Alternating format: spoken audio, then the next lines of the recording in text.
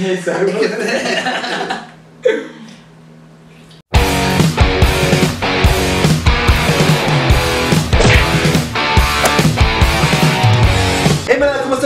Ultra bien. Yo soy Leo Stretch y bienvenidos a un nuevo video. Hace unos cuantos días hicimos una dinámica en Twitter para que ustedes nos mandaran las preguntas que les gustaría saber de Andy y de mí, porque él es el, el, El nuevo editar. el nuevo editar, el nuevo editar del canal. Entonces vamos a, a responder unas cuantas de sus preguntas. Solo elegimos siete porque nos gusta Dross, pero gracias a Número todos siete. y a todas las que mandaron sus preguntas.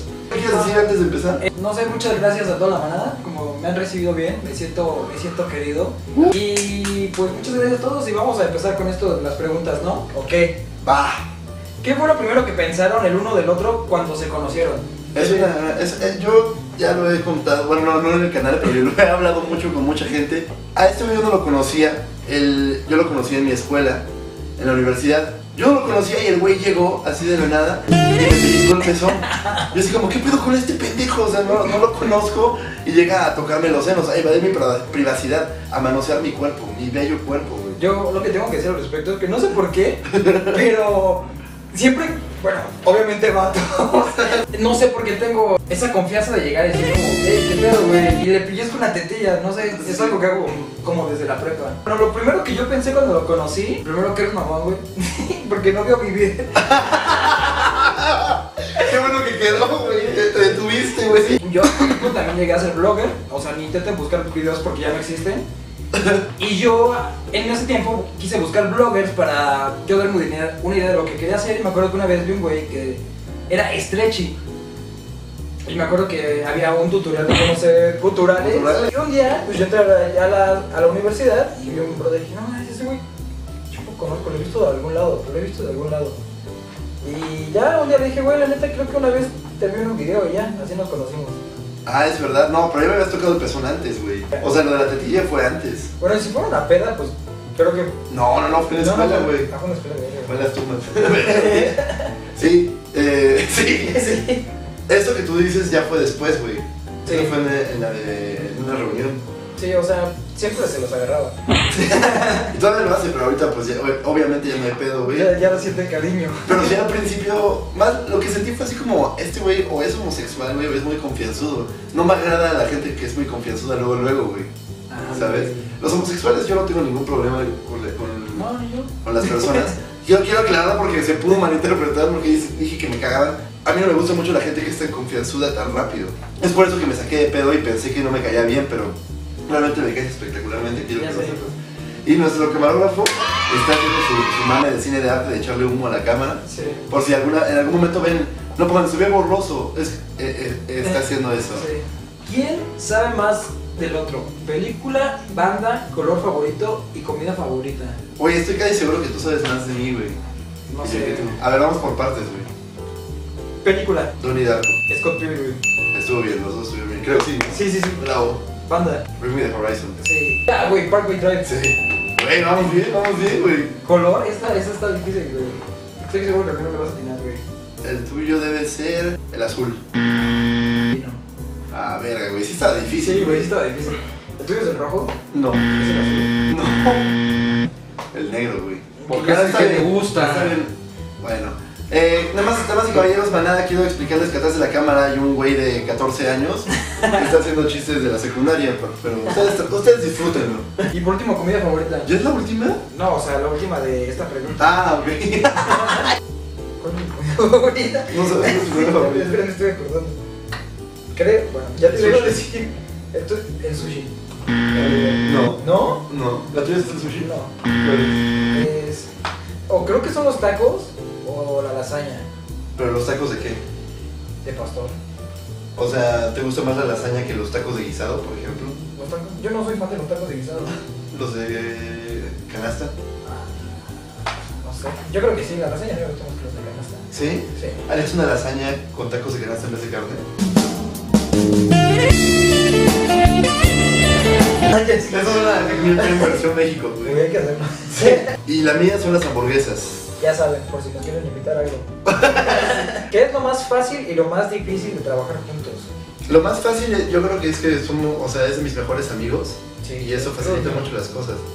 Y difícil, como apenas estamos empezando a trabajar juntos, a veces no, no logramos comprender muy bien lo que queremos. Bueno, o sea, más bien a veces es difícil que yo le, le transmita exactamente lo que quiero en un video, por ejemplo. Pero no hay pedo, nos estamos acostumbrando a trabajar juntos y va bien. Lo más fácil para mí es lo mismo, o sea, que ves de mis mejores amigos y pues está súper cagado trabajar juntos, güey. Lo difícil, güey, es que, puta, güey, sí, nunca podemos grabar. Ah, sí. Llevamos mucho tiempo queriendo grabar y pues se queda dormido. Sí, a veces, a veces, a veces, a veces él, como tiene un periodo menstrual que viene cada mes, se molesta y se enoja. Allá atrás de la cámara, si se escuchó un chasquido, eh, suscribió con mi idea. Entonces, esa es, esa es la, la respuesta. También a veces Andy se emputa y ya no quiere venir. y a veces yo me quedo dormido, es verdad. ¿Qué es lo más difícil que te ha costado poner en los videos de Leo Stretch? Esa es para ti. Sí, A también mí- lo puedes poner si quieres, si la puedes contestar si quieres, es lo más difícil que te ha costado poner en tus videos. El video más difícil que he hecho, güey, es uno que hice con varias amigas de mi escuela, bueno, tú las conoces. Porque me costó un huevo, güey. Y bueno, ojalá hubieran visto lo que hizo el- la persona atrás de la cámara en este momento. Nada más les digo que es un- como un güey de 14 años, entonces imagínense lo que hizo. Bueno, unas chicas de mi escuela, y me costó un chingo de huevos editarlo porque en esa época mi compu estaba fallando un chingo. Entonces cada vez que editaba un minuto o menos, se, tra- se trababa.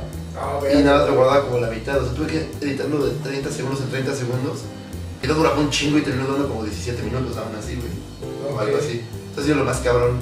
Yo, bueno, no difícil, pero si se dan cuenta en, el primer- en la primera parte de ¿Qué prefieres? Con Memo y conmigo, salen unos detallitos, unos cuadritos con las redes sociales de cada uno. No es difícil, solamente es como muy laborioso. keyframe, keyframe, keyframe. Y espero que quedó muy bonito. Sí, me gustó a mí también. Es muy bello. Sí, y Gracias. pues, no sé, creo que lo más difícil que me ha costado poner. ¿Cuál es la canción que define su amistad? Puto de modo top. Les repito que tenemos a un hombre, bueno, a un hombre, a un muchacho de 14 años metido en el cuerpo de un güey como de 32. güey. es real, güey. Cuando lo conozcan me- lo van a entender estos chistes tan locales.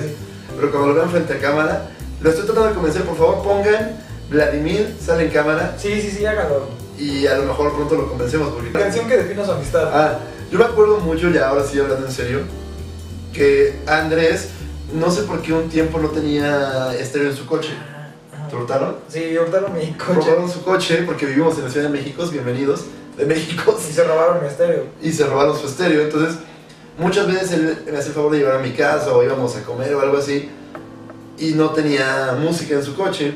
Y una vez compró unas bocinitas chiquitas porque él es de gustos exquisitos. Entonces puso, puso ahí una canción de Tony Van Pilots que se llama Car Radio. Y esa canción fue la primera rola que yo escuchaba de ese grupito después de la que es muy famosa, güey. ¿Stressed out? Out. Ajá. Yo no conocía ese grupo, entonces me gustó. Y, le, y Andrés me dijo, güey, es que es mi canción porque dice que robaron el, el radio de mi coche. Y fue muy gracioso.